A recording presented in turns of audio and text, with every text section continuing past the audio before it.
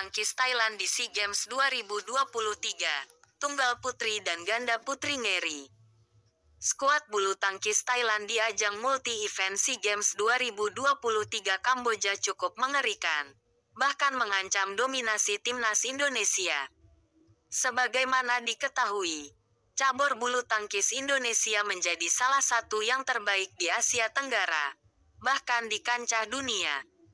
Tetapi belakangan, Thailand dan Malaysia mulai menyusul di daftar negara yang punya potensi bulu tangkis. Beberapa atlet mereka mulai mewarnai list ranking teratas dunia. Sayangnya, agenda SEA Games 2023 hampir bentrok dengan ajang bulu tangkis bergengsi. Piala Sudirman 2023 di Suzhou, China. Baik Indonesia, Thailand dan Malaysia memilih untuk menurunkan skuad utama di Piala Sudirman 2023 dan pemain pelapis di SEA Games 2023 Kamboja. Meski menurunkan pemain lapis kedua, tetapi skuad bulu tangkis Thailand di SEA Games 2023 tetap wajib diwaspadai. Sebab kualitas para pemain sudah di level dunia dari sektor ganda putri. Thailand mengirim pasangan unggulan. Benyapa Aimsart Nuntakaran Aimsart. Yang diketahui juga pernah menduduki ranking top 10 dunia. Baca juga skuad Thailand di Piala Sudirman 2023. Racanok turun gunung. Popor main rangkap. Benyapa Aimsart Nuntakaran Aimsart baru saja mengalahkan ganda putri terbaik Indonesia. Apriani Rahayu, Siti Fadia Silva Ramadanti di babak pertama BAC 2023. Padahal, Apriani Fadia tidak tampil di SEA Games 2023. Indonesia justru mengirimkan pemain lapis kedua, yakni Febriana Dwi Puji Kusuma Amalia Cahaya Pratiwi. Kemudian, Indonesia juga mengutus ganda putri junior, Rahel Alesia Ros Meilisa Trias Puspitasari.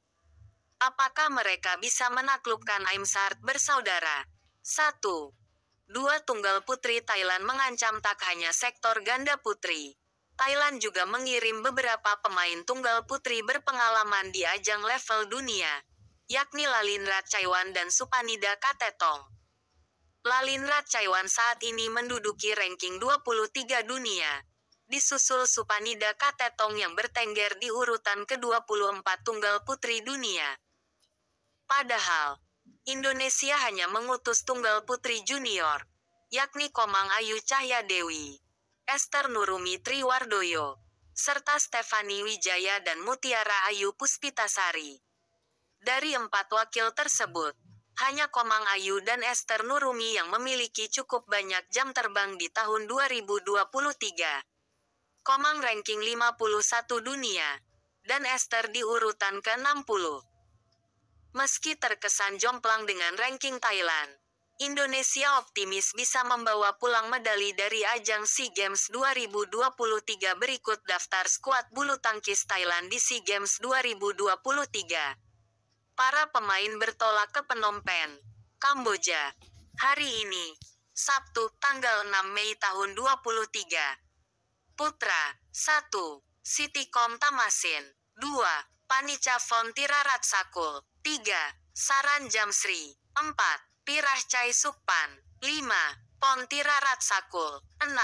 Nantakaran Yot Paisong. 7. Cale Rempol Caroen Kijamon.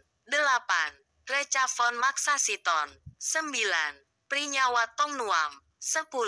Rutanapak Aptong. Putri 1. Supanida Katetong. 2. Lalinrat Caiwan.